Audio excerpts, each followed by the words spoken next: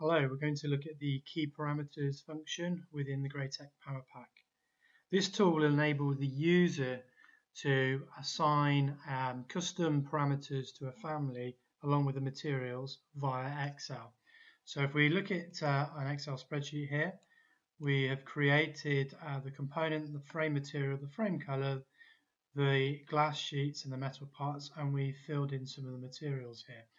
So, and I put some of the family names that uh, I may want to use down here. So we can do it kind of as a tabulated uh, exercise. Once we've done this, if I minimize this for a second, and let's grab the external door here. If we go to our Graitec Power Pack, and before we do that, actually, if we look over to the left, we can see the materials and finishes, there is only two, and both of them are blank. So if we go to the key parameters, we can load in the Excel sheet we want to use. So I've called it key parameters. We can see it's brought a preview over here. If I open that, it's assuming I want to use sheet one of the uh, the Excel the Excel book, which is what I've got. I've only got one, and it's using the parameter called components. Now I can either have that as a type or an instance. So I will select that as an instance.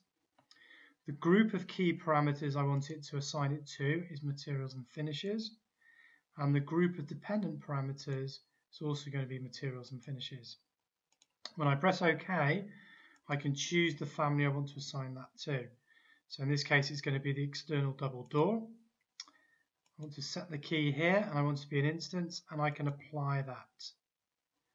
By selecting the apply button and the OK button, what you'll now see on that door down under materials and finishes is a list of those new materials and the parameters filled in for me. And again, like I say, it's just taking the data from the component. So it's a great way of adding more parameter data to a family.